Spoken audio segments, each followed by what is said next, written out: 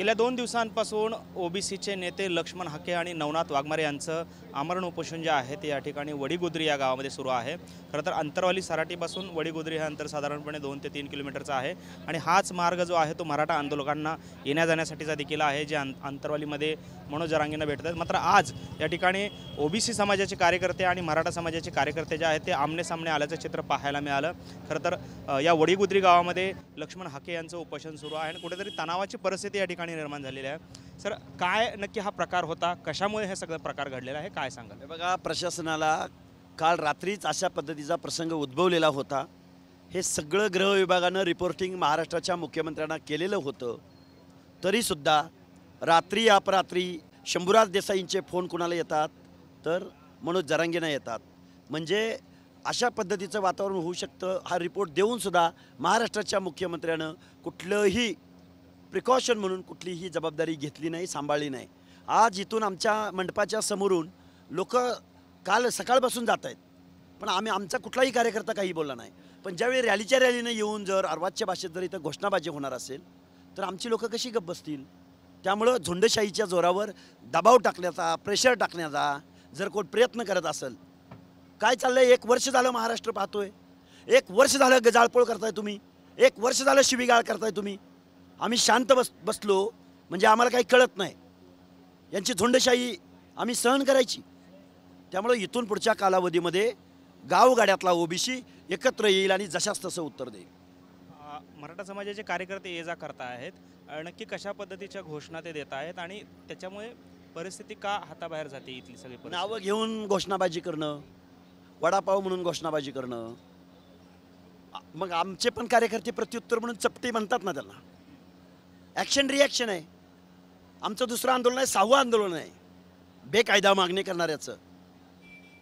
गाडीची अक्कल नाही रिझर्वेशन पॉलिसी माहीत नाही. तुमचं मागाव का आम्ही?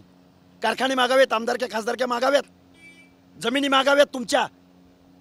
काय मागावं तुमचं? कशात तुमचं प्रतिनिधित्व नाही? एका बाजूला शहाण्णव कुळ्याची भाषा बोलता एक वर्ष झालं. आमच्या मनात काय वाटत असेल? खरं तर दोन्ही समाजाच्या कार्यकर्त्यांना आपलं काय आवाहन असेल? कारण तुम्ही जबाबदार आहात. जसं जरांगे पाटील जबाबदार आहेत मराठा समाजाला तसं तुम्ही ओबीसीनं जबाबदार आहेत. आणि जर अशा पद्धतीनं जर का तणाव निर्माण झाला तर कुठेतरी ह्या दोन्ही उपोषणाला कुठेतरी खीळ बसू शकतो किंवा त्याला छेद जाऊ शकतो. काय आव्हान असेल दोन्ही समाजाचे कार्यक्रम एक वर्षभरापासनं एक वर्षभरापासनं या परिस्थितीला एक वर्षपास एक वर्षभरापासनं एक वर्षभरापासनं अशी परिस्थिती महाराष्ट्रात आहे. एक वर्षभरापासनं. एक वर्षभरापासनं ही परिस्थिती या महाराष्ट्रामध्ये आहे. तरीसुद्धा वास्तव परिस्थिती समजावून सांगायला या महाराष्ट्रातले नेते तयार नाहीत. त्यामुळं अजून खूप गोष्टी वाढणार आहेत. जर अशीच परिस्थिती राहिली तर अजून खूप गोष्टी अशा घडू शकतात. पाहतो या ठिकाणी हा टेम्पो चाललेला आहे मनोज जरांगेने भेटायला आणि घोषणाबाजी दोन्ही बाजूने होते. आता आता आल्या आल्या तुमच्या कॅमेऱ्यासमोर त्यांनी घोषणाबाजी केली. आमच्या कार्यकर्त्यांनी एक घोषणा दिली होती का? घोषणाबाजी केल्यानंतर रिॲक्शन गेली. त्यामुळे ही परिस्थिती महाराष्ट्राच्या मुख्यमंत्र्यांना चांगली माहिती आहे. ओबीसीचं आंदोलन मोडीत काढायचं. एकमेव एककलमी कार्यक्रम मुख्यमंत्र्यांचा आहे. मग आपण जसं म्हणताय की गृह विभागाला या सगळ्या गोष्टी सूचना गेलेल्या आहेत ते मुख्यमंत्र्यांपर्यंत पोहोचलेल्या आहेत. मग नक्की फेल्युअर कोणाचा आहे? म्हणजे सत्ताधाऱ्यांमधलं फडणवीस आणि शिंदे असा जो काही अ, नेते आहेत या दोघांचंही हे फेल्युअर आहे की काय? प्रशासनात बसलेल्या सगळ्या माणसांचं फेल्युअर आहे. महाराष्ट्राच्या मुख्यमंत्री हा संपूर्ण महाराष्ट्राचा मुख्यमंत्री आहे. महाराष्ट्राचा मुख्यमंत्री एक जातीवादी मुख्यमंत्री आहे का? एका जातीचा मुख्यमंत्री आहे का? एकाला संरक्षण आणि दुसऱ्याला काही करा. या प्रश्नाचं उत्तर एकनाथराव शिंदेनी द्यावं. नवनाथ वाघमारे देखील आहेत. काय नक्की आता आपण आव्हान असणार आहे? कारण अशा पद्धतीनं जर दोन समाज एकमेकांसमोर येणार असतील खरं तर यामधले सर्वात महत्त्वाचे तुम्ही केंद्रबिंदू आहात आणि आपल्याच या आंदोलनानंतर अशा परिस्थिती दोन्ही बाजूच्या कार्यकर्त्यांकडून होताना पाहायला मिळते. काय आव्हान असेल? आम्हीच काय आवाहन करावं? जरांगेला आवाहन करायला जमणार नाही का? एकतर जरांगेचे कार्यकर्ते इथून जाताना घोषणा देतात आरवाजच्या भाषेत काहीतरी वेगळं बोलून जातात त्यानंतर जिथले ओबीसीचं ओबीसींचे समर्थक ओबीसींचे कार्यकर्ते कुठंतरी प्रति उत्तरला प्रत्युत्तर देण्याचं काम करतात. त्यामुळं जरांगीने त्यांच्या कार्यकर्त्याला त्यांच्या झुंडशाहीला आवर घालावा त्यांना समजून सांगावं लोकशाही मार्गाने आंदोलन करावं. आम्हाला त्यांच्याशी घेणं देणं इथून आले गेले आम्हाला त्याच्याशी काय घेणं देणं नाही? परंतु शांततेच्या मार्गाने ते गेले पाहिजे. आणि इथं घोषणा द्यायची गरजच नाही ना. जरांगेच्या आंदोलनात जर आम्ही जाऊन घोषणा दिल्या आमच्या कार्यकर्त्यांनी जाऊन घोषणा दिल्या तर जमल का जारांगेला? आवडेल का?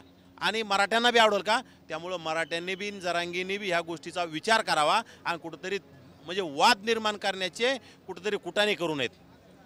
जर का समजा इथे वाद निर्माण झाला उद्या काही अन अनुचित प्रकार घडले अगदी जाळपोळ किंवा दंगल घडली तर मग हे दोन्ही आंदोलनांवर तुमच्या दोन्ही उपोषणांवर परिणाम होईल. मग आपलं या कार्यकर्त्यांना नक्की काय आवाहन आहे? जसं जरांगे पाटलांना आपण आवाहन करतो तसं आपल्या कार्यकर्त्यांना आपण काय आवाहन करतो आमच्या कार्यकर्त्याला आम्ही सांगतच आहोत आमचे कार्यकर्ते अगोदर काहीच बोलत नाहीत. इथून जर शांततेच्या मार्गाने जारांगेचे कार्यकर्ते जारांगेंचा समाज जर गेला तर आमचे कार्यकर्ते काही बोलत नाहीत. परंतु जारांगेचे कार्यकर्ते काही बोलत असतील तर आमचे कार्यकर्ते त्याला प्रत्युत्तर देणारच. आणि याला पूर्ण सर्वस्वी आमच्या केसालाही धक्का लागला. आमच्या कार्यकर्त्यांच्या जरी केसाला धक्का लागला तर याला सर्वस्वी जबाबदार जातीवादी मुख्यमंत्री एकनाथ शिंदे असणार आहे. हे बघा जाताना आत्तासुद्धा ते घोषणाबाजी करताना दिसत गरज नसताना घोषणाबाजी करण्याचं काम नाही परंतु हे जाणीवपूर्वक केलेलं आहे.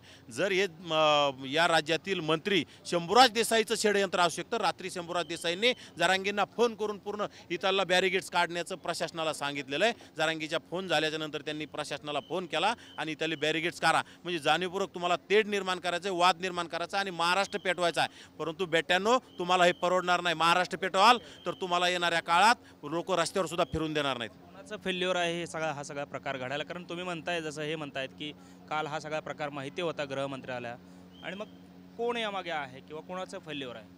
याला पूर्ण जबाबदार मुख्यमंत्री असतील आणि दोन्ही उपमुख्यमंत्री आहेत पूर्ण मंत्रिमंडळ आहे. आम्ही काय कुठल्या एक एकट्या मुख्यमंत्र्याला सुद्धा जबाबदार धरत नाहीत. याला पूर्ण म्हणजे मुख्यमंत्री आणि दोन्ही मुख्यमंत्री उपमुख्यमंत्री याला जबाबदार आहेतच ना. त्यांना जर प्रशासनाला ह्या गोष्टी अ, गृहविभागाकडून जात असतील तर त्यांचं इथं खबरदारी म्हणून सगळी यंत्रणा व्यवस्थित करण्याचं काम आहे. इथं महामार्गावरून लोक जाण्यासाठी व्यवस्था केलेली असते आणि जाणीवपूर्वक खालून लोक येतात आणि इथं आरवाच्य भाषेत घोषणा देण्याचं काम करतात. तर इथं वातावरण संतप्त होणार आणि याच्यापेक्षा चीड निर्माण करण्यासारखं वातावरण सुद्धा होऊ शकतं. यासाठी मुख्यमंत्र्यांनी कुठंतरी याच्यामध्ये पायबंद घालण्याचं काम आहे. पाहतो या ठिकाणी की खरं तर दोन समाजाचे कार्यकर्ते जे आहेत ते आमनेसामने आलेले होते. आणि आता दोन्ही बाजूने किरेची प्रतिक्रिया जी आहे ती उमटताना आपल्याला पाहायला मिळत आहे.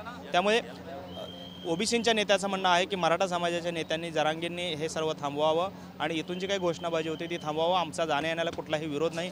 अशी एकंदरीत भूमिका ओबीसीच्या कार्यकर्त्यांनी किंवा नेत्यांनी दिलेली आपल्याला पाहायला मिळते. कॅमेरामन विनोद उमनाबादकरसह सागर सुरवसे टी व्ही मराठी अंतरवाली जालना.